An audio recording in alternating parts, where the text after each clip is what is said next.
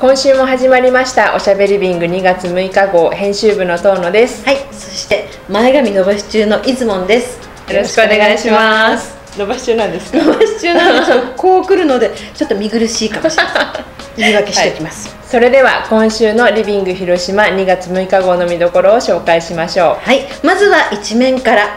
一面は主婦ワンミセスのアイディアレシピです。うはいこれはどういった内容になってますか、これはですねバレンタインが近いということであの私の中の隠しテーマ「 My Dear 家族」ということで、ママが家族に日頃の感謝を込めてちょっと美味しいものを作ろうと。でちょっとひと手間をかけるだけでいつものお料理やお菓子がこんなにドラマチックになりましたよということを主婦ワンミセスの方3人にチャレンジしていただきました。それぞれの方のご家族へのメッセージ付きでご紹介してます。必見ねえ美味しそう全部。ですよね。ね。えバラの花みたいに見えるとかあの、うん。いちごをうん。ちょんちょんとこう切っただけであ。ハートになっちゃうのよね。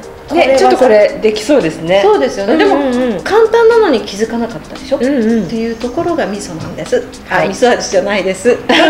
チョコ味です。チョコ味ですその他の特集としては大人世代という特集であの就活に関するアンケートの結果とあの大人世代の方にぴったりの情報を紹介しております。はいでもう一つがですねあの我が家の価値はということであの空き家とか何か不動産とかを持たれてる方がですねどれぐらいで売れるのかなっていうのを、まあ、ぜひこの機会に確かめてほしいなと思ってあの不動産の一括査定企画をやっております。はい、そして私がご紹介するのはこちら広島ひな巡りということであの広島に住んでると、宮島のあのひな巡りっていうのは結構有名かと思うんですけど県内各地にあります。上下町とか竹原とかそれから東条町とかいろいろありますのでね皆さんドライブがてらちょっとぐるりと回ってみてはいかがでしょうか。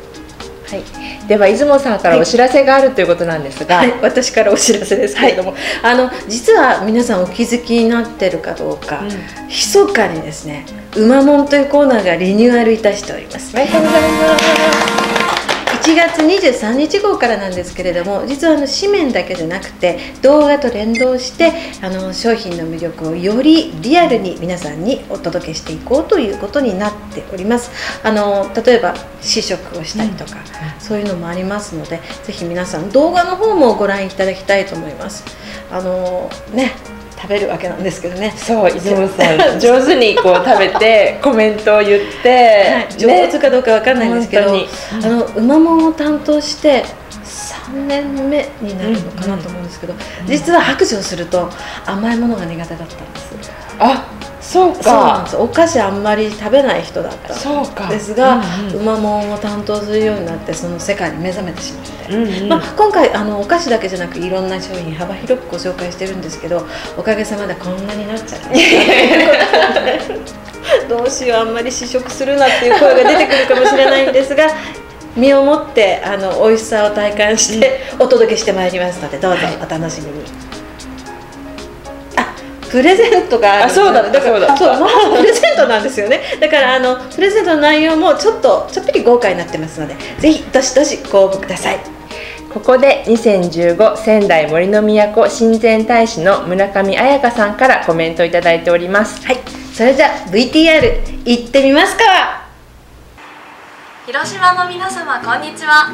仙台宮城からやってまいりました。2015仙台森の都親善大使の村上彩香です。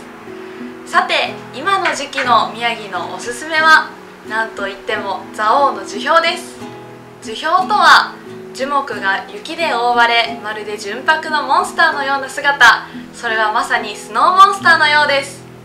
皆さんぜひ宮城にお越しください。お待ちしております。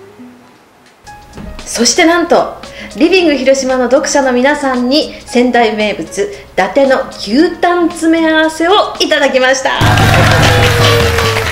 嬉しいですね。だっちゃ あの詳細はですね今週のウィークリープレゼントで掲載しておりますのでぜひプレゼントをご応募してくださいということでお送りいたしました。おしゃべりビング2月6日号いかがだったでしょうか？はい、ご意見やご感想それから、えーリビングスタッフへの質問などどんなことでも結構ですのでこの動画のコメント欄にどしどしお書きくださいね。面白いものはこの番組の中でどんどん紹介させていただきます。